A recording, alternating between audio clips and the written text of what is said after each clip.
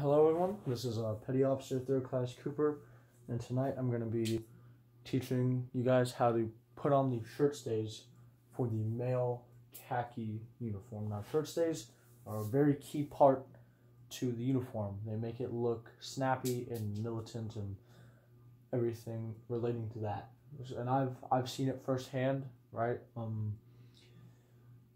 Sometime in sixth grade, one of my shirt stays popped off, or not sixth grade, ninth grade and I took all my shirt stays off because it was like at the very end of the day, and it looked my uniform looked terrible. So shirt stays, especially with like this thick uh, material, is very important.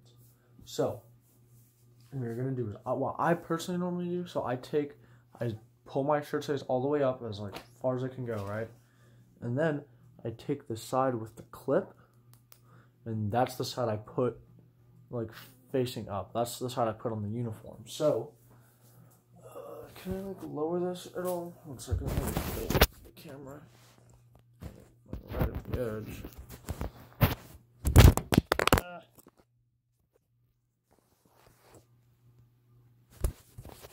Okay, that doesn't really work, but that's fine. Okay, so, and there are multiple ways to do this. This is just how I do it. You can ask one of the other upperclassmen how they uh, put their shirt stays on. There are multiple ways. So I take the, this end I take the end of the shirt, and so there's a crease going all the way down the shirt, and that's where you want to put it. So I put the metal part, the metal like little circle, on the end of the crease, right? Try to get it as flat as you can. Then I take the rubber part and I stick it through, right? So you gotta. I only stick it through a little bit because if you stick it up too much, and then you pull it through, it does this, and that's not how you want it. You want it to be like this. Hold on. Want it to be like that. So you only want to push it up a little bit. Um, and this just takes time to like really get used to it. Like I only really got used to it until like really the end of my freshman year. So you push it up a little bit and you pull through. So you want to pull through like this. And then what I normally do is I grab here and I push. Right? And then it should look something. It should look something like this. That's how like thick you kind of want it to be, and you do that with every single. So with every single um, one on the front. All right, so I'll finish up. I'll finish this up. I don't want that one. Um, okay. So again, this is like a recap for the front. Get the get the pocket seam, put the metal part on, stick the rubber part on, push it up just a little bit, grab it, pull it, and push it. It's like you're playing bop it. grab, push, pull, whatever you gotta do. Right? And I normally keep those loose for right now. And then what you're gonna do is I normally when I'm hanging my uniform I like to keep it buttoned up just a little bit. Right, like maybe the first button and then like skip one and then the second one just so it kind of looks nice and uniform. And it kind of can hold a crease better. Then I flip it around. Okay, so there are three wide. Whatever. So now there are three three creases on the back of the uniform. They're gonna do the outer two most creases. So you take your shirt stay, right? And you do the same thing. You go to the bottom. With the bottom one, um, I sometimes will like fold it up a little bit, so I'm doing it right now. The back is just really long, so if you fold it up, it can help. Like I, I only do that sometimes. I I don't personally don't like doing that because it can mess with the shirt stay and it's easier to pop out.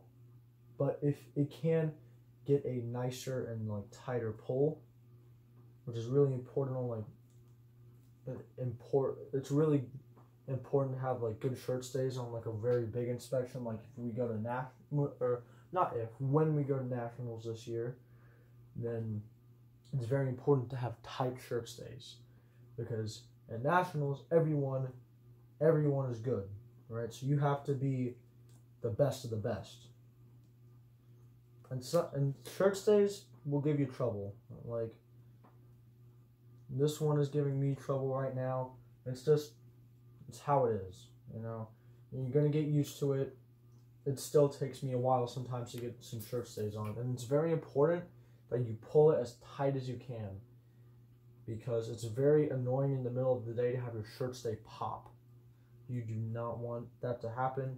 It's happened to it's happened to everyone, but it's just it's a it's a pain in the butt because you at least when you're wearing the uniform, you want to look good because obviously, if you look bad in the uniform, then you look really bad. But if you look good, you can look extremely good.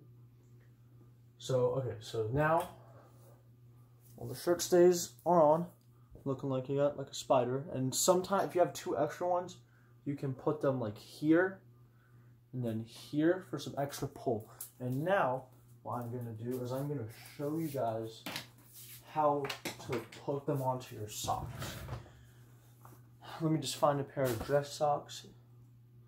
No. That's good. That's good. Okay. So, these are my dress socks, right? Um these are not the ones that I got issued. I personally like to use my own pair of dress socks, which are these, because you'll get so with these dress socks at least, right? They're long, so they go up to like the middle of my knee. Or not the middle of my knee. They go up to like a little bit beneath my knee, as you can see. And that's good for the shirt stays because it won't have to go as far, so it's less likely to pop. So you put your dress socks on, right? And dress socks are really thin. So this is this is why we can use shirt stays because on thicker socks it's really hard. So get them up as much as you can. And you're going to take your khaki uniform. You're going to unbutton it. You should have a white undershirt. I do not right now, but this is just for instructional purposes. And then, so you're going to put on your uniform. Oh! Put on your uniform. Make sure it looks all nice. I just put all my devices on, so hopefully they look good. Obviously, you want to button. You want to make sure you button up as all the buttons, right? Because if one's loose, like especially on the bottom, it can just look. It, it won't make a huge difference, but it, it can make an impact sometimes. Okay, so now, now once you get to this part, so no, normally I have my underwear on, but I'm not doing that in the video. So now that you're on this part, you have two options. You can either cross your shirt stays, so you would take the back shirt stays, put them at the front of your socks, or take and like vice versa, or you can just clip them straight down. I personally like to cross them because then it like it'll pull the back forward and then it pulls the front back, so it makes the uniform look snappier.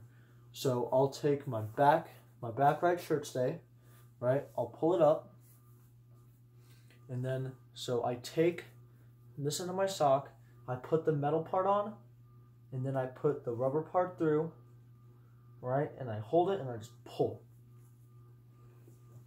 Right? Pull it more, and then bam. Now you have your first shirt stay on. And you do that with the back one now, so you take your back shirt stay, you you open up a little space, put it, put the metal part, stick the little rubbers through, push on it, and pull. Now this will take, I'm doing this pretty easily, but I've had practice. I've spent, you know, two, I've spent a lot of times putting this uniform on. So I know how to, I know like the little tricks you can do with your shirt sleeves to make it easier to get on. And You just do the same thing with the other side. So you're going to put them through like so. Sometimes it takes a little bit. Now, here's the, so now it looks something like this, right? They're crossed. And now, so what you want to do is you want to take the clips right here. You want to open them and you want to go down. I personally like to get it as tight as I can. Now, that being said, it's risky because your mobility is limited. Like, it's a lot. It's really limited. Like, now one thing, I like to get them as tight as I can, right? And that it's hard sometimes, right? And you want to try to get it as even as possible. Like you don't want one end being super tight and the other end not being tight at all, right? And now, same thing here. So you're gonna unclip it, and just gonna pull it down, right? I like to grab like the little opening that it creates, and I like to pull that through, because it's really hard to get it through with your fingers, right? So get it, I like get it as tight as you can, right? Now I'm a tall guy and I still have these pretty, pretty far down. And now,